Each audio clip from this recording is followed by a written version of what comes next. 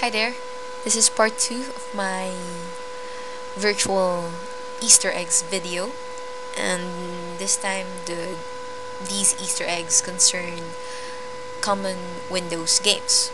So first up is Solitaire. I'm just going to show you how to instantly win Solitaire by just pressing Alt, then Shift, then the number 2 key. The number 2 key is um, found on the alphanumeric keys because the number 2 on the numeric keypad on the right side of your keyboard doesn't work. Um, so the number 2 that you're going to press along with Alt and Shift is the one on the alphanumeric keys. So I'm just going to quickly show you. Alt Shift 2. And there you go, instantly, and uh,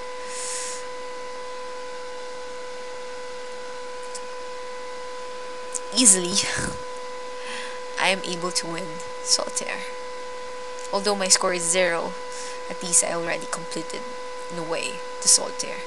I know it's pretty useless, but it's good to know there is this command that does it.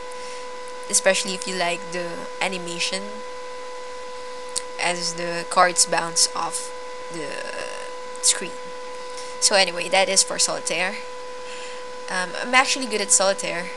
The game that I'm not good at is Minesweeper. I can only solve the beginner Minesweeper game or level, so I know I'm pretty pathetic. So it's good to know this Easter egg can actually help you beat Minesweeper. So all you have to do is minimize or close other programs that are running, open Minesweeper, then type in XYZZY, then select any tile from the window. So I'm going to choose the first tile, hold shift for a while, and then this is the trick. I'm going to zoom in to show you. So I'm going to focus on the first tile of my Minesweeper game. Then you go to your upper left corner of your desktop screen and you will notice a small white square over here on the corner. And if that appears uh, just means that the one that I'm pointing at is completely free of any mine because uh, your white square or your white pixel here appeared. Therefore it just tells you that um, whatever it is you're pointing at it's free from any mine so this is safe. I'll check the second one. The second one if you look at your upper left corner the white square disappeared.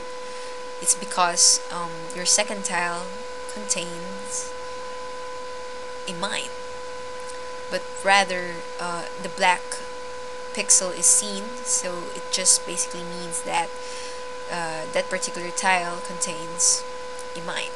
So I'm going to continue. Third is safe. Fourth is safe. Fifth safe. Sixth safe. Seventh safe. Eight okay. This one is safe. This one this one.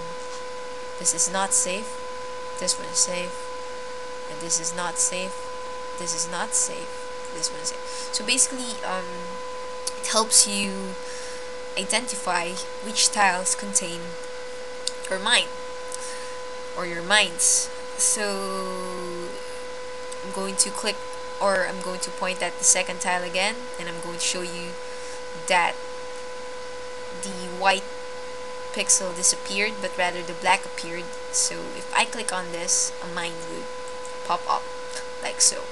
So there you go. A easy way I mean an easy and quick way of solving Minesweeper. And those are just um, additional Easter eggs that I want to share. Um, I'm going to do more soon so thank you guys for watching this video and just have fun